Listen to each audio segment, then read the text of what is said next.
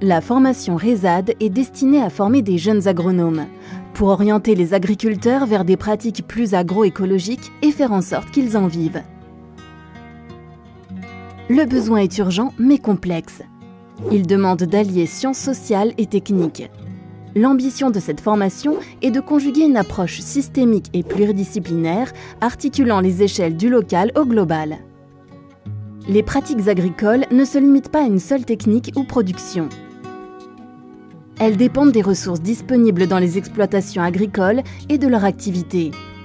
Elles sont influencées par les dynamiques locales, les marchés, les politiques économiques et le climat.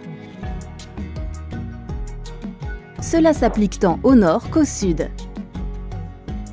Comprendre les pratiques des agriculteurs est essentiel pour identifier des leviers d'action pertinents. Prenons un exemple concret avec M. Chan, un riziculteur dans une vallée au Cambodge. Pour lutter contre les mauvaises herbes, il utilise des herbicides. Une agronome s'interroge sur cette méthode peu agroécologique et lui propose de cultiver du riz biologique.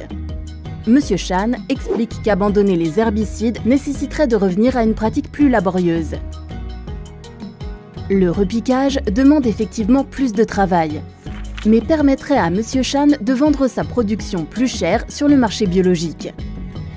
Mais Monsieur Chan cultive aussi, sur les collines, du manioc et de l'anacardier, dont la production est exportée et qui sont bien plus rentables que le riz.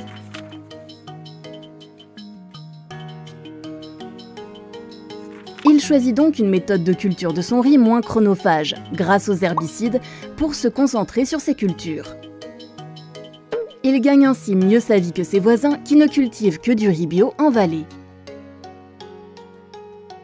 Il est important que, grâce à sa formation, l'agronome comprenne que les choix de M. Chan sont rationnels et adaptés à sa situation. Cette analyse illustre la complexité des pratiques agricoles et l'importance de les évaluer sur le terrain pour proposer des solutions adaptées, forcément plurielles.